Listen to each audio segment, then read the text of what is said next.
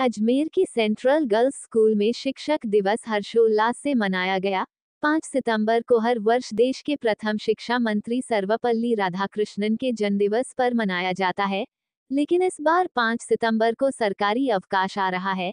ऐसे में शिक्षक दिवस आज ही स्कूलों में मनाया गया।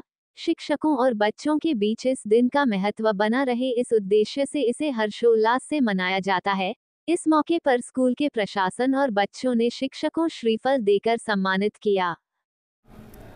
शिक्षक दिवस हमारे देश के दूसरे राष्ट्रपति सर्वपल्ली डॉक्टर राधाकृष्णन जी की जन्मदिवस के रूप में प्रतिवर्ष 5 सितंबर को मनाया जाता है और इस वर्ष भी 5 सितंबर 2022 को शिक्षक दिवस तो है, लेकिन उस दिन अवकाश है रामदेव जयंती का।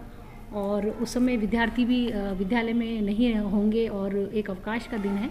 तो इसलिए हमने इस शिक्षक दिवस को आज तीन तारीख को मनाने का फैसला लिया और इसमें सुबह से ही हमारी दो दो पारियाँ हैं। उसमें सुबह से ही शिक्षकों और विद्यार्थियों के बीच में एक बहुत स्नेहपूर्ण कार्यक्रम का आयोजन हुआ।